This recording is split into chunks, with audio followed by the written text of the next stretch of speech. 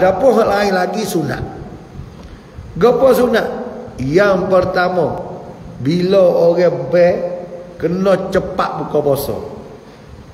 Nabi kata la yazalun nasu bi khairin ma ajjalul fitra. Manusia ni duk baik lagi, duk molek lagi selagi mana mereka segera buka puasa. Orang Tino duk dapur. Ah duk laut tak sudah lagi. Orang apa dah? Nah, kita kena makan dulu. Bila dengar pak orang oi orang apa oi. Ah kita pergi make utama buka puasa dulu, sunat. Nah, walaupun duk laut tak sudah lagi.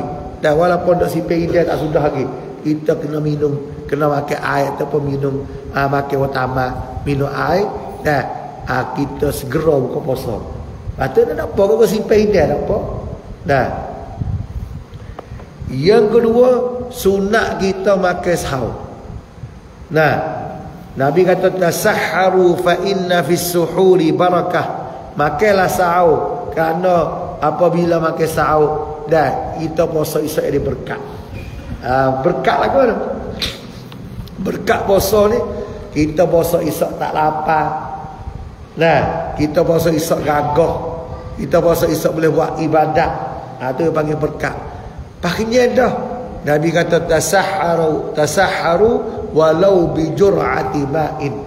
Kamu bangun makan sahur walaupun minum air dua tiga tegak. Minum air setegak. Apa dah niat atau makan sahur. Boleh pahala makan sahur. Nah. Yang ketiga. Sunat kita ni bila kita pos makan sahur, kita makan sahur yang dilewat. Jangan pukul 9 ke sahur dah. Pukul 10 belum nak tidur ke sahur dah.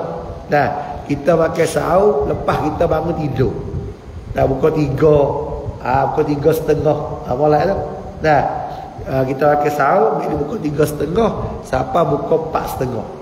Nah, ah tu panggil sunat. Nabi kata la tazalu ummati bi khairin ma ajjalul iftara wa akharu suhur.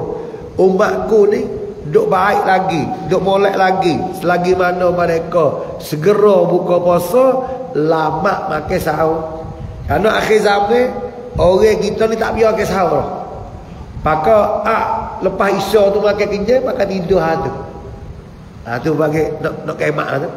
Tapi kalau kita nak bangun lagi makan sahur, ah InsyaAllah kita duduk molek lagi, duduk baik lagi.